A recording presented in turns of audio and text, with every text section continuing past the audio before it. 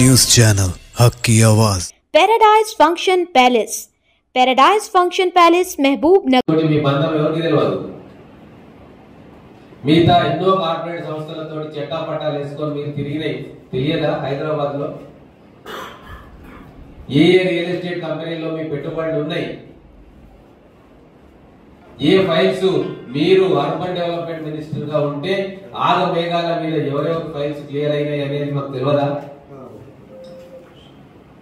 అవన్నీ కూడా మళ్ళా ఇక్కడ కాంగ్రెస్ ప్రభుత్వం ఏదేదో చేస్తుంది అన్న లెక్కన మీరు మాట్లాడడం చూస్తే గురువింద కింద సామెత ఈ రోజు గుర్తుకొస్తా ఉంది.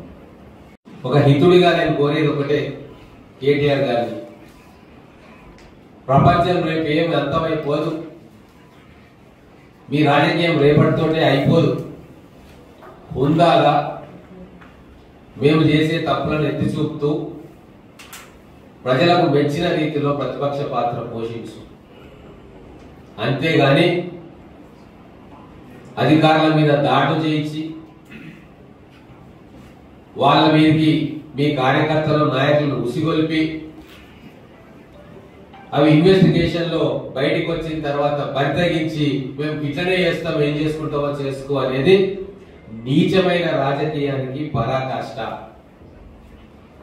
కాశ్మీర్లో కూడా ఉగ్రవాదులు ఇట్లనే చేసేవాళ్ళు అక్కడ పారామిలిటరీ ఫోర్సెస్ మీద మన సైనికుల మీద దాడులు చేసేవాళ్ళు మంచి చేయడానికి గ్రామాల్లో పోతే కూడా అల్లరి ముక్కలు రాలేసి కొట్టి సేమ్ తెలంగాణలో బీఆర్ఎస్ ప్రేత కల్వకుంట్ల కేటీఆర్ ప్రోద్బలంతో కుట్రతోటి అటువంటి ప్రయత్నమే మళ్ళా తెలంగాణలో జరుగుతూ ఉంది కాబట్టే మీరు కాశ్మీర్ టెర్రరిస్టుల కంటే అధ్వానమైన రాజకీయం చేస్తున్నారు. ఖలిస్తాన్ ఉగ్రవాదులను మించి తెలంగాణలో అస్థిరత్వానికి ప్రయత్నం చేస్తూ ఉన్నారు. ప్రజలు ఇది గమనిస్తూ ఉన్నారు. మిమ్మల్ని రాజకీయంగా శాశ్వతంగా బొందబెడతారు మీరు ఇట్లనే ఇటువంటి నీచమైన రాజకీయాలు చేస్తే. పార్టీ కార్యకర్త నాయకులతో మాట్లాడినాక పార్టీ కార్యకర్త ఏం చేసిండో అనేది ఈరోజు ఇన్వెస్టిగేషన్లో ఇన్వెస్టిగేషన్లో తేల్చిపోయే అంశం. పార్టీ కార్యకర్త మాట్లాడవచ్చు కానీ మాట్లాడిన తర్వాత వచ్చి కలెక్టర్ మీద హత్యా ప్రయత్నం చేస్తే ఖచ్చితంగా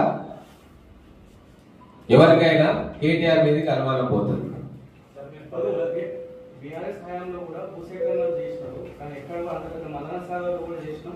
ఎవరి మీద ఒక కేసులు పెట్టలేదు ఇవాళ వడ్డీకి ఉపయోగించిన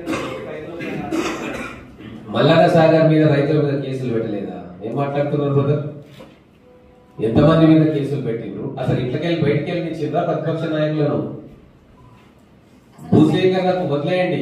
ఒక మంత్రి కేటీఆర్ వెళ్తున్నాడు హైదరాబాద్ నుంచి అంటే మొత్తం రూట్ అంతా గృహ నిర్బంధనం చేసిన దాఖలా లేవా? రెండు భద్రసాలు చేసిండ్రు? కేసీఆర్ అయితే కిందికి వెళ్ళిపోడు ఆయన పైకి వెళ్ళిపోతాడు కానీ కేటీఆర్ పోయినప్పుడు బయటికి వెళ్ళనిచ్చిండ్రా ప్రజాస్వామ్యవాదులు కావచ్చు సివిల్ సొసైటీ వాళ్ళు కావచ్చు ప్రతిపక్ష పార్టీలు కావచ్చు లేదా ఎవరైనా ఉద్యోగస్తులు ఏదైనా ధర్నా చేస్తే కావచ్చు ఇంట్లోకెళ్ళి బయటికి వెళ్ళకుండా లోపల గృహ నిర్బంధం ఎంతమంది చేసిండ్రు? మమ్మల్ని ఎన్నిసార్లు గృహ నిర్బంధం చేసిండ్రు? అవన్నీ మర్చిపోతే ఎట్లా కదా పూర్వం పార్టీ అధికారంలోకి వచ్చే అవకాశం ఉందా? పూర్వం కొనసాగిన పార్టీ అంటే ఏది? బీఆర్ఎస్ ఇప్పుడు ఈ రోజు ఒకటే బీఆర్ఎస్ పార్టీ మళ్ళీ చరిత్రలో తెలంగాణ రాష్ట్రంలో అధికారంలోకి రాదు ప్రజలు రానియరు.